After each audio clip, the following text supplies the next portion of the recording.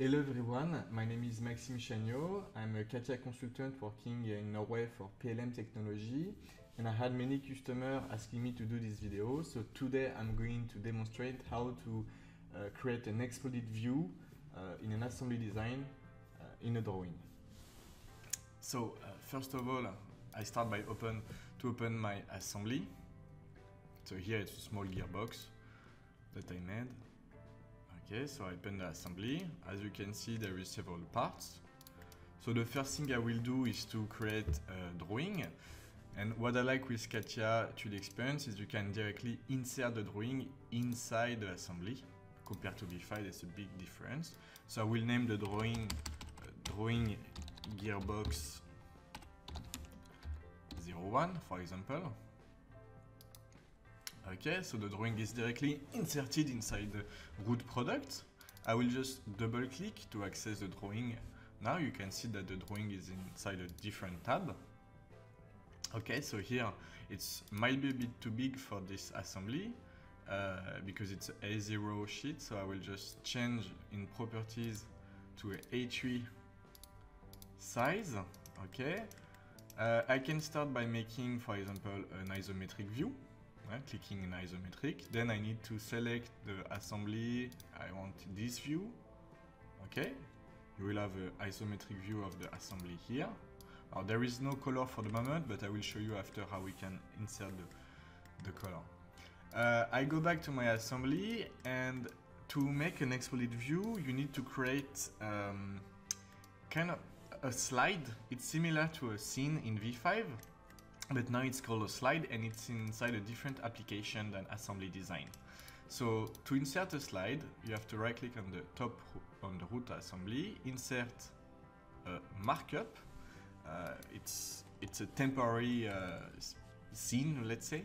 So we'll just call it um, markup gearbox. I can also say 01 for example. Okay, it will be on top here. As you can see here, we are working in uh, the markup because I have a small red dot on top. Uh, but I'm still in assembly design, so I need to move. I need to move to design review where I can insert a slide. So I switch to design review, as you can see here, and I will just create a slide here.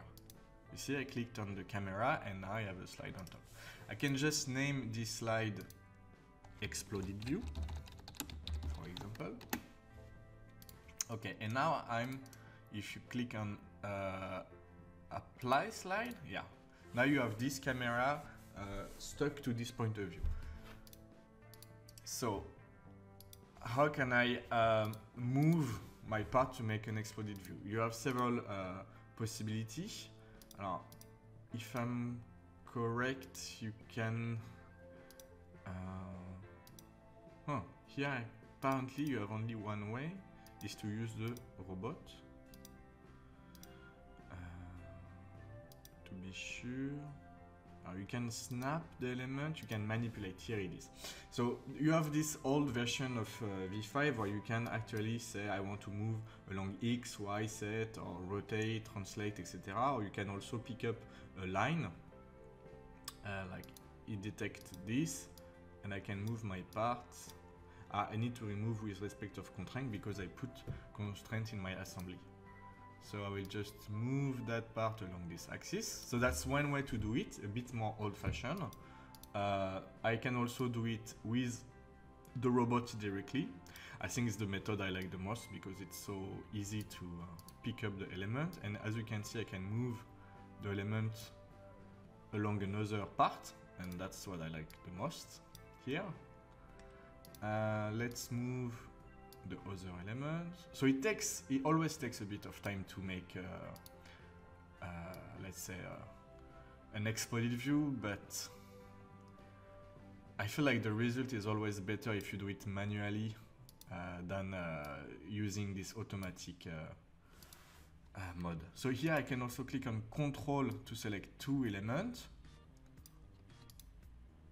like the lock here and the axle on the shaft, sorry. Yes. what I like here, it's this shape is a bit, this orientation is a bit complex, so I can just snap the robot straight here. I select the part, and now I can directly move like that. That's pretty nice. Uh, what else? Okay, there is some element here we need to move.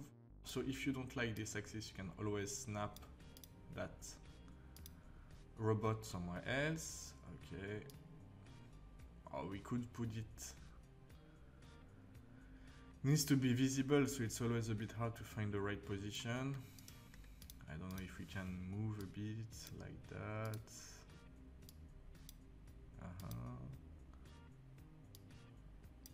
like for example yes I guess we are missing this one now well, it's not the most beautiful uh, exploded view I made, but okay, it's working, you understand the concept. So what you need to do is to do update slide. And now you'll see that this is the current uh, mode your slide is on. So if you move and you click on apply slide, it will go back to this point of view. And that's what I like the most.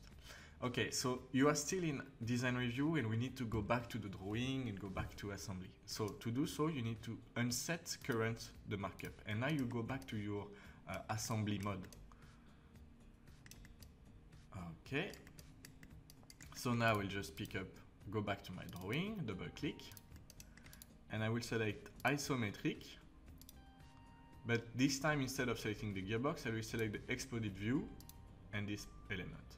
And as you can see here, you have your exploded view.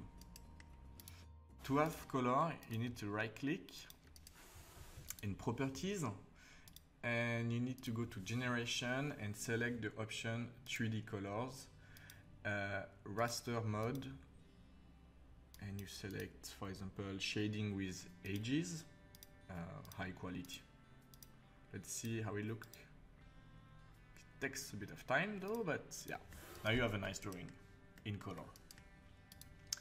Great. Uh, another small tips I would like to give you uh, before we end the video is, uh, of course, it is also possible to edit, uh, set as current, I'm um, still in design review, okay?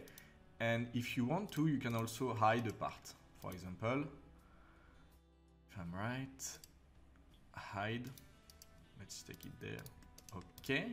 And if you select update slide, the exploded view has been updated, okay. Unset current, if I go back to my drawing and I do, as you can see here, the update button, Okay, and now you can see that my uh, small gear has been uh, hidden.